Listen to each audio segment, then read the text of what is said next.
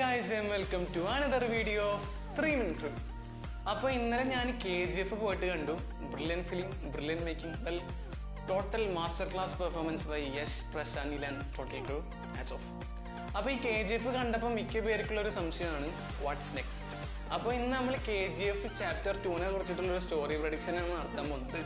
അപ്പോൾ വീഡിയോ തുടങ്ങുന്നതിന്റെ മുന്നേ ഒരു കാര്യം പറയാനുണ്ട്. അതെന്താണെന്ന് വെച്ചാൽ കെ ജി എഫ് കണ്ടവർ മാത്രം ഈ വീഡിയോ കണ്ടാൽ മതി. അല്ലാതെ ഞാൻ കെ ജി എഫ് ചാപ്റ്റർ വണ്ണിന്റെ സ്റ്റോറി പറഞ്ഞു പറഞ്ഞിട്ട് എന്നെ തെറി വിളിക്കാൻ വരരുത് please so let's get started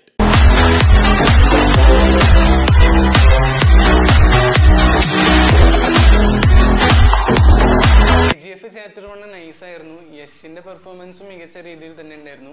but it's chapter one ഒരു ബിഗിനിങ് മാത്രമാണ് നമ്മളെ ഷാറുഖ് ഖാൻ പറഞ്ഞ പോലെ ട്രെയിലർ പിക്ചർ ആളുകൾ കെ ജി എഫിനെ ബാഹുബലിയുമായിട്ട് കമ്പയർ ചെയ്യാൻ തുടങ്ങിയിട്ടുണ്ട്.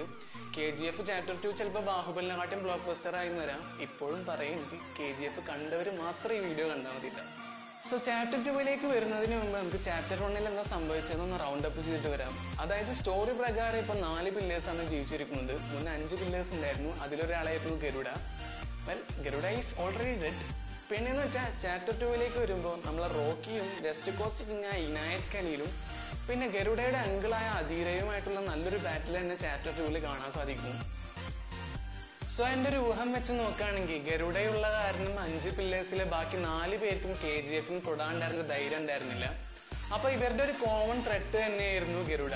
അപ്പൊ വെസ്റ്റ് കോസ്റ്റ് കിങ് തന്നെയായിരിക്കും ഗരുഡയുടെ അസാസിനേഷന്റെ പിന്നിലുള്ള ഒരു മാസ്റ്റർ മൈൻഡ് സോ എന്റെ ഒരു ഇന്റൻഷൻ റെഡി ആണെങ്കിൽ വെസ്റ്റ് കോസ്റ്റ് കിങ് തന്നെയായിരിക്കും റോക്കിയെ കൊണ്ട് ഗരുഡയെ കൊല്ലിക്കാനുള്ള ഒരു മാസ്റ്റർ പ്ലാന്റെ പിന്നിൽ പിന്നെ പൊളിറ്റീഷ്യൻ റൂൾ കൊണ്ടും പുതിയ വില്ലന്മാരുടെ ഒരു ഇൻട്രൊഡക്ഷൻ കൊണ്ടും കെ ജി എഫ് മൊത്തത്തിൽ നൈസായിരിക്കും so K G F chapter ടൂവിൽ അവസാനം എന്താ സംഭവിക്കാന്ന് ഞാൻ പറയാം. അതായത് റോക്കി എന്തായാലും മരിക്കും. അതിന്റെ കാരണങ്ങൾ എന്താണെന്ന് വെച്ചാൽ ഇതിലൊരു ഫീമെയിൽ പൊളിറ്റീഷ്യൻ ഉണ്ട്.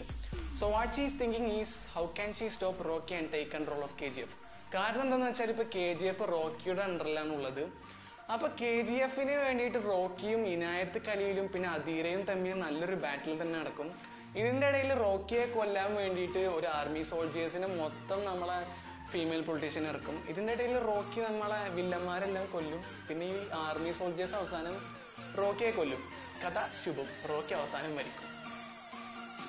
കെ ജി എഫ് ചാപ്റ്റർ ടുവിന്റെ ബഡ്ജറ്റിനെ പറ്റി പറയുകയാണെങ്കിൽ ഒരു നൂറ് കോടി ബഡ്ജറ്റ് എന്തായാലും കാണും. കാരണം എന്താണെന്ന് വെച്ചാൽ ചാപ്റ്റർ വണ്ണിനെക്കാട്ടും നല്ല സ്റ്റോറിയും മിഷൻസും തന്നെയായിരിക്കും പ്രശാന്തിയിൽ ചാപ്റ്റർ ടൂവിൽ കൊണ്ടുവരാൻ ശ്രമിക്കാം അപ്പൊ എന്തായാലും നൂറ് കോടി ബഡ്ജറ്റ് തന്നെ കാണും. അപ്പൊ ഇതുപോലത്തെ വീഡിയോസിന് മറ്റു വീഡിയോസിന് വേണ്ടി ചാനൽ സബ്സ്ക്രൈബ് ചെയ്യുക. വീഡിയോ ഇഷ്ടമാണെങ്കിൽ മറ്റുള്ളവർക്ക് ഷെയർ ചെയ്യാൻ ശ്രമിക്കാം thanks for watching bye guys